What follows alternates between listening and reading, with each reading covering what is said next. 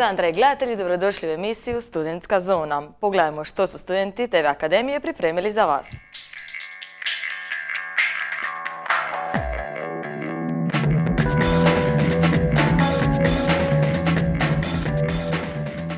Origami je tradicionalna japanska vještina kreiranja modela od papira. Posjetili smo radionicu pa pogledamo što su izradili.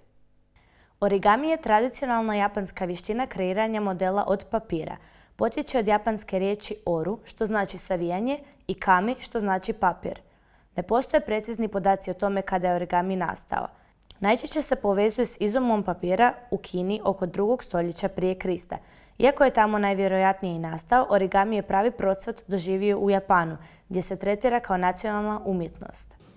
U zadnjih 50 do možda 70 godina se dogodila jedna, recimo to tako, revolucija u origamiju, da je origami zapravo postao nešto puno raznolikije, puno e, kompliciranije, sa puno različitih grana zapravo, e, nego što je nekoć bio. Znači više se ne radi samo o jednostavnim e, modelima, figurativnim koji obično predstavljaju životinje ili ljudske forme, nego je to sad nešto što uključuje matematičke, abstraktne modele, modele koji su visoko tehničko zahtjevni, koji znaju imati po preko 300-400 e, koraka, a i nekakve, e, sa druge strane spektra, neke ekspresionističke modele koji imaju možda dva ili tri koraka, ali su svejedno jako zanimljivi. Origami se obično radi od papira, iako se mogu koristiti i drugačiji materijali. Pored toga, moguće je koristiti i razne druge vrste papira. Foliju, papir za zamatanje, hamer i mnogi drugi. Za neke zahtjevnije modele potrebni su tanki, ali čvrsti papiri, elastični koji ne pucaju kad se pređe preko istog mjesta po 10-15 puta. E, međutim, za neke jednostavnije stvari, za zapravo ogromnu količinu modela nije uopće potrebno nabavljati neki posebni papir. U Japanu se tradicionalno poštuje papir. Prvi origami u Japanu bili su modeli leptira kojima su se okršavale posude sa pićem na ceremonijama vinčanja otprilike od 7. do 12. stoljeća. U početku je origami bio skup i origami figurice imale su samo ritualno značenje. Na neki način su bile povlastice bogatih. Danas se u Hrvatskoj ljudi ne bave toliko tom umjetničkom disciplinom, ali još postoje i rijetki. Moja teta mi je kao malo možda sam ima 9 ili 10 godina, objašnjavala kako se radi ždral. E, ona ih je napravila tisuću, a po e, nekom vjerovanju u Japanu e, tisuću ždralova omogućuje onome koji ih je složio da se ostvari jedna želja. Origami je također i izvor zabave. Mnogi ljudi uživaju u izrađivanju modela, a svoje ideje vole dijeliti s drugim ljubiteljima origamija. A šta smo upravo radili, radili smo ždralove koji su jel, tradicionalni model, vrlo jednostavan, uvijek počinjem sa ždralovima jer mislim da je dovoljno kompliciran da osobi pruži nekakav uvod u origami u osnovne pokrete koji se rade, a nije toliko težak da osoba odustane. Ali ovi drugi modeli, to je već uh, skroz druga priča. Znači ono što je meni najdraže raditi su upravo ti modeli od više komada papira koji se onda sastavljaju u nekakve geometrijske forme, odnosno stereometrijske forme. Ovaj model, na primjer, je 30 papira, ovo je najstariji kojeg sam složio od više komada, zato je malo zgužvan. E, ovo sam baš e, jučer napravio, ovo je 36 papira, aha, da. 36 papira, četiri trokutaste prizme, jel? I ne znam koga bi još izdvojio. Ovo je možda najteži, najzahtjevniji kojeg sam nikad radio. Ovo je 60 malih kvadrata i trebalo mi je, ja mislim, tri dana možda za napraviti ovo. Da, ovo mi je bilo prvi put. Nije bilo uopće teško, dosta je zanimljivo, onako on dosta dobro objašnjava i zanimljivo je, skroz je cool, evo ovo je moj prvi. Nazvala sam ga Žučo. I ono, cool je skroz, ne znam, umirujuće, moraš, čini mi da moraš dosta pazi na ove detalje i na ove obrube kad radiš rubove, da se to sve lipo uklapa, ali to dolazi s praksom i s vježbom, pa ono, ali cool je skroz, lipo osjećaj. E, pa ovo mi je prvo iskustvo s ovime, mislim, ja sam kad ite, ono, igrali bi se u ulici ovako s papirima, ali ovo, ono, moraš baš šta je ona rekla, pazit e, na rubove i tako to, ali evo, moj prvi ovi ždral. Ja mu nisam dala ime. Origami je jedan hobi koji može biti iznimno smirujuća aktivnost, ali može biti i iznimno teška.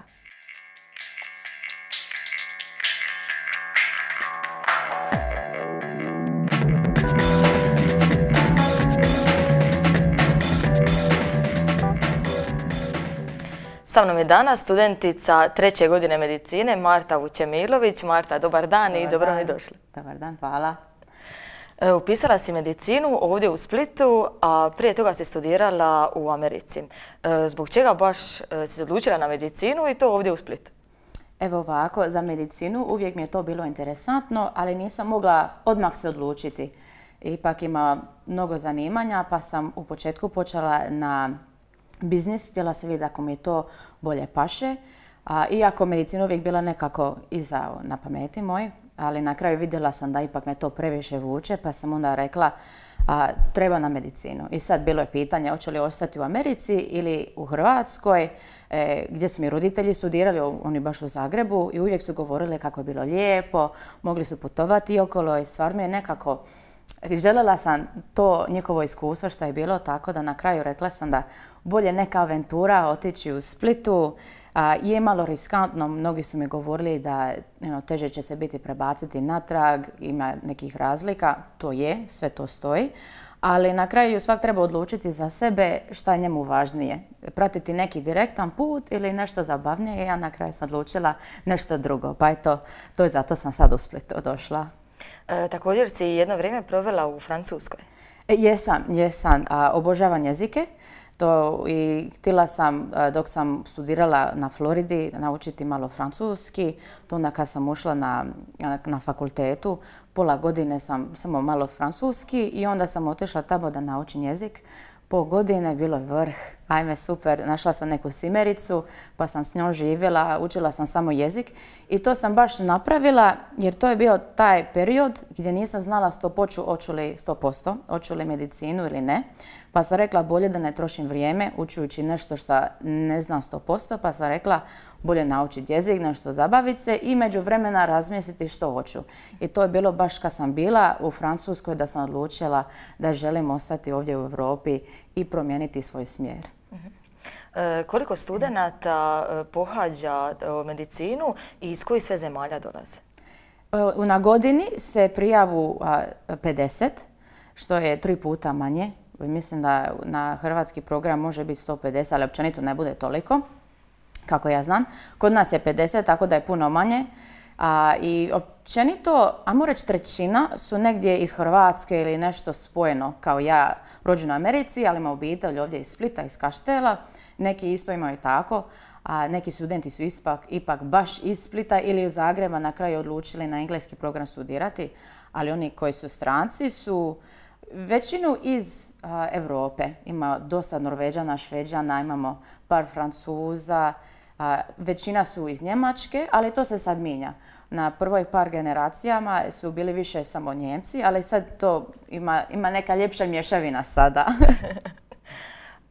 pohađate, zapravo slušate predmete na engleskom, engleskom jeziku, ili tako? I kako je li problem za pronaći, pronaći literaturu? E, nije uopće, jer ima više literature na engleski jezik nego na hrvatski jezik. Neke puta profesori baš žele neku njihovu knjigu, ali onda to bude lako, samo se to prevede. Tada imamo probleme, tada, jer onda to kad se to prevedi to ne bude tako dobro. Ali na kraju idemo na Google ili nešto tako, jer općenito više informacija je na engleski jezik nego na hrvatski. E, kakav ti je život ovdje u Splitu i je li Split ispunio sva tvoja očekivanja? Meni je baš drago ovdje. Stvarno ima puno više mogućnosti ovdje, sve je blizu, tako da iako nemam toliko vremena za izaći vanka, kad mi je sve blizu, onda mogu. Mogu ono reći, ajmo 5-10 minuta na kavu, stignem. Ako sam otišla na Zagrebu ili na Floridi gdje sam ostala, sve daleko, tako da ne možeš baš ni samo 5 minuta nešto napraviti. Tako da to stvarno pomogne. I da, stvarno sam zadovoljna. ovdje ima puno više kulture, nešto uvijek izaći vanka, muzika slušati, plesati. Zabavno je stvarno. Ima, ima sve šta, svačega i sve, sve, svega i svašta. Svega i svašta. um, kakva je razlika u načinu života? Evo ovako, ja sam ipak isto s juga, Florida je južnije, tako da bi mislila da je ležerno, je nekako, ali nije toliko kako ovdje u Splitu. Jer mi tamo na Floridi ono, imamo plaže, možeš otići tamo preko cijele godine, ali nekako stav, mentalitet je stvarno drugačiji. Uvijek nekako bude glavno raditi, uvijek je užurbano. Svaki put kad se vratim, tako, toliko imam stresa, stresa, jer uvijek trebaš otići negdje, sve ti je daleko. Za mene prijateljica mi je pola sata s autom, to mi je blizu. Tako da ne, ono... To je kod nas ovdje neobično. Je, je, tako da nekako ne možeš se osloboditi, uvijek trebaš planirati unaprijed, trebaš organizirati sve svoje vrijeme, uvijek ideš livo, desno, svimo tamo, e, tako da je, nema razloga, stvarno ništa te ne vuče, ali nekako tamo uvijek nešto nađeš za raditi. Što je ono, što nije toliko važno, samo trebaš nešto pitura, trebaš nešto ono, to jest, ali zaboraviš da da trebaš i malo kave i nešto tako. Ovdje nekako ne zaboravu za kavu. Mislim da je ovdje u Splitu kava na prvom mjestu. Ah, je. Jer ti čudo, na primjer, dođeš u ponedjeljak ujutro, na primjer, na, na rivu i svi piju kavu. Meni to lijepo. Ali, onda kao kažem... To se na Floridi ne događa, Pa nema ti ni mjesta za na kavu. To ti je problem. Tamo ti nema kafića. A ako ti je bude, to ti je samo jedan. Rano se zatvara i, i to nije kao cool šema. To ti niko ne radi, osim ako si baš neka, nekav tip osobe koji ti ide na kavu. To, mhm. to, to nije te tako ono za svakoga. Nema ti, općenito ide se ide na barove ili kod kuće kod nekoga. Ali kad si kod kuće, neće ti posluži kavu. Da. kako provodiš slobodno vrijeme? I uopće imaš li ga? Imam, da studiraš imam. svi nekako stignemo. Svi stignemo i to je rečeno obavezno nešto nađi. Jer ono, ti si cijela osoba, nije to samo studij. Teško bude, ni nemamo toliko slobodno kao možda svi ostali, ali svaki ima zna, posla, tako da i mi isto. Ali nađe se vremena. Ja stignem svaki dan nešto tronirati, tako da radim kickboxing, malo plešem, nešto za zabavu. I, to stvarno pomogne jer onda uvijek nekako me motivira da naučim jer znam da poslije toga mogu izaći vanka, nekako se osloboditi jer ako bi samo učila cijeli dan onda motivacija nekako e, nestane, ne želiš više, ne trebaš se ni obući. Sad ovako forsirate da, da stvarno nešto radiš vanka. Mhm.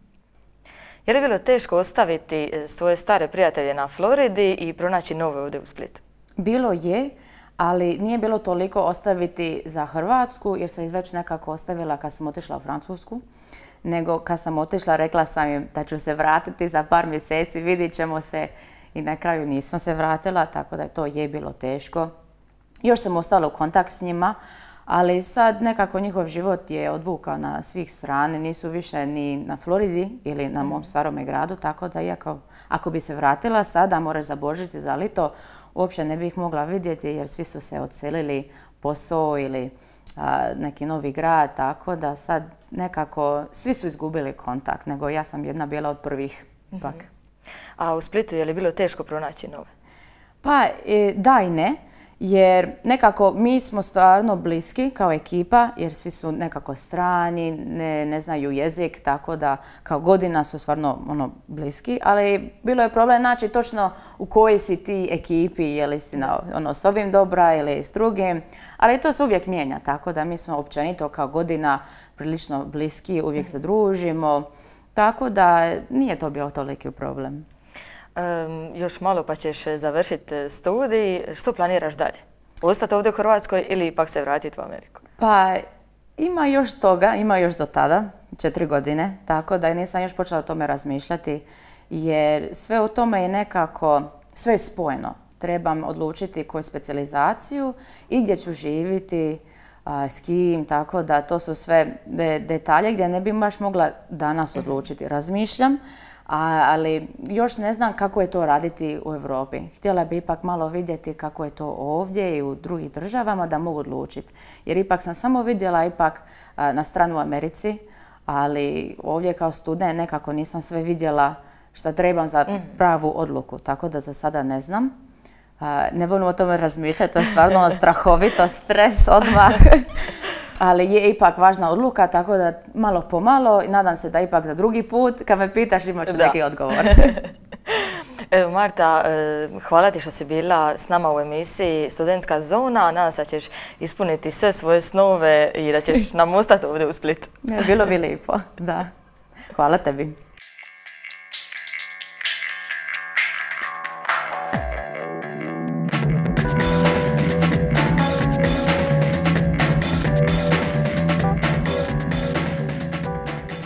Gradskom kazalištu mladih premjerno je prikazana predstava Šest lica traži autora u izvedbi Gradskog teatra Mali princ iz Omiša. Gradski teatar Mali princ iz Omiša izveo je pred prepunim kazalištem mladih u Splitu predstavu pod nazivom Šest lica traži autora. U ovom kazališnom komadu suprostavlja se moć iluzije i snaga umjetničkog dijela koja postaje stvarnija od samog tajanstvenog života čovjeka jer dramski lik ima vlastiti život određen vlastitim karakternim osobinama.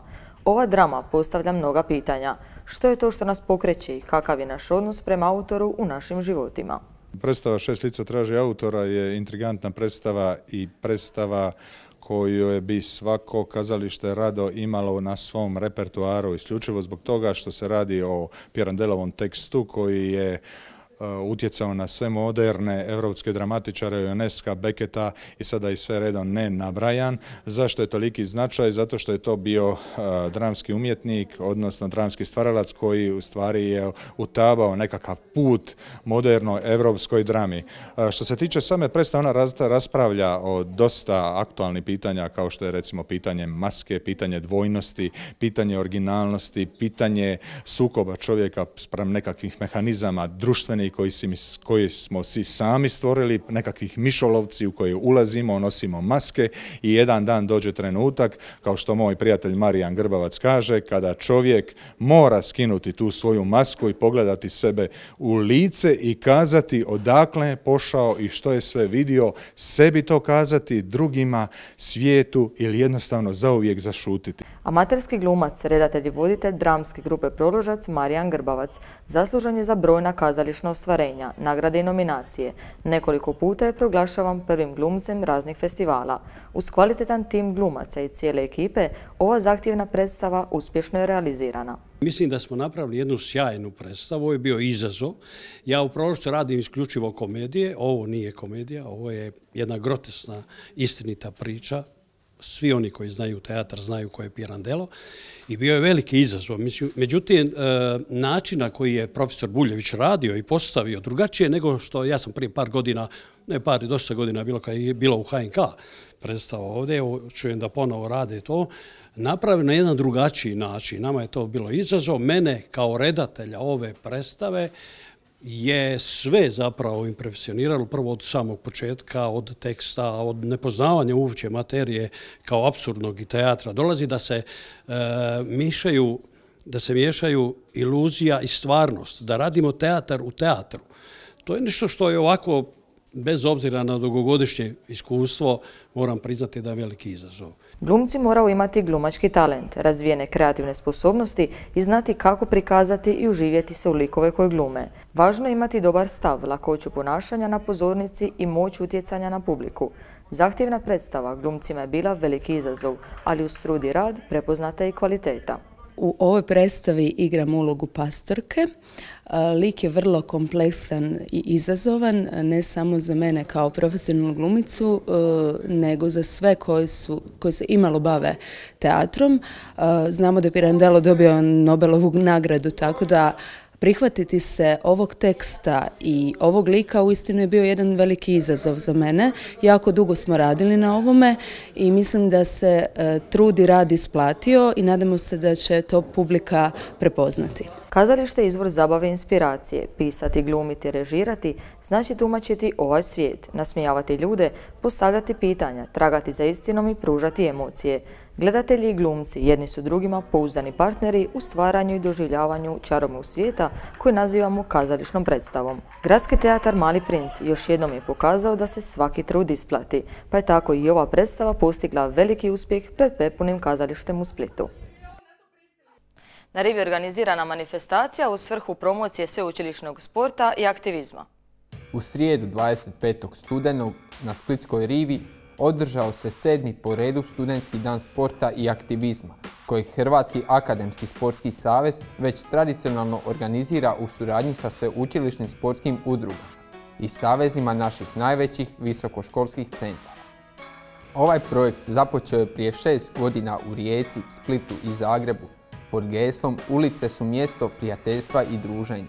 Zapravo je prava promocija sporta od profesionalnog do rekreativnog kao jednog sastavnog dijela akademskog života kojim se podiže kvaliteta studiranja i življenja. Na rivi smo sustreli olimpiku i gimnastičarku Tinu Erceg.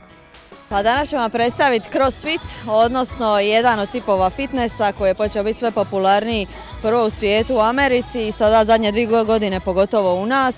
O čemu se radi? Znači to je isto e, funkcionalni tip fitnessa, radi se, to su zapravo kao treninzi kondicijske pripreme uz elemente snage, znači koristi se i gimnastika, od sportova gimnastika, dizanje utega su najviše zastupljeni, e, te uz ove sve monocikličke aktivnosti od plivanja, trčanja, veslanja i to sve ukomponirano u jedno, čini jedna kratke, dosta intenzivne treninge koji se mogu prilagoditi svima, zato je tako popularan jer od 18 do 60 ga mogu svi raditi.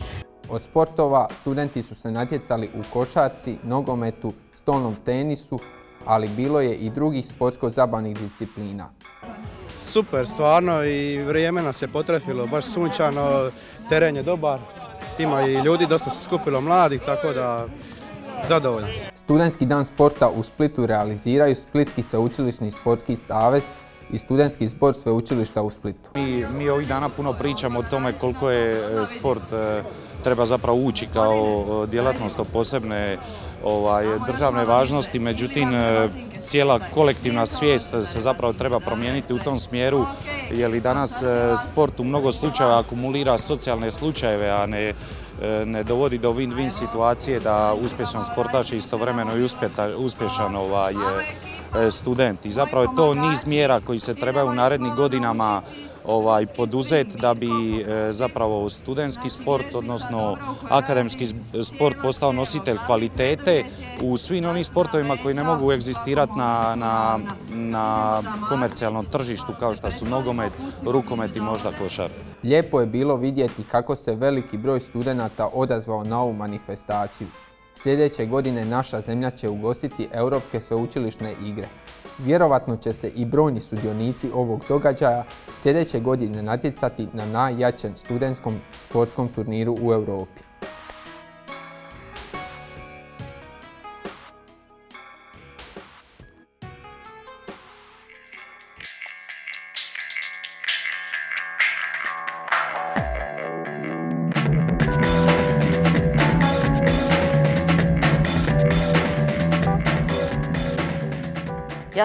Boko i Nikolina Uroda putovali su Azijom tragovima Aleksandra Velikog.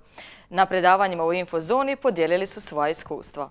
U Splitu u prostorijama Infozone u srijedu 25. studenog Jasen Boko i Nikolina Uroda održali su predavanje na temu Putevima Aleksandra Velikog.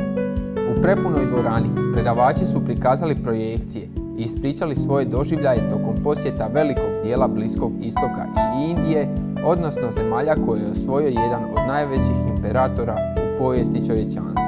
Pa, e, tragovima Aleksandra Velikog zapravo je bio jedan projekt koji je rezultirao knjigom e, i koji je zapravo pratio to put Aleksandra Velikog, osvajanje Perzije i dalje Azije, njegov put sve do Indije, tako da je e, neki logičan put vodio iz Makedonije, ali iz Koplja zapravo koja je mali dišpet Grcima preko Grčke, njegove pele, u kojoj je živio prijestolnice, dalje preko Turske, Dakle, pokušali smo ući u Kurdistan, to nije išlo, onda već je počela sva ova frka sa Isilom i tim. E, Iran, e, nismo uspjeli ući u Turkmenistan, ali smo prošli kroz Afganistan i Uzbekistan. A ranije sam, rekao bih, odradio Indiju što se tiče Aleksandra.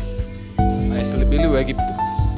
Egipat je bio kraj puta, Egipat je bio, e, on je bio planiran isto u sklopu ovog jednog putovanja, međutim je krenulo, zaratilo u to vrijeme, na ulici su bili ubijani, ubijani su ljudi, zaista nisam htio, tako da je Egipat bio zapravo posljednja stanica na putovanju jer je jako bitan jer je zapravo Egipat, odnosno Aleksandrija, osim što je najpoznatiji grad od tih silnih gradova koje je Aleksandar osnovao je i mjesto posljednjeg počivališta Aleksandra.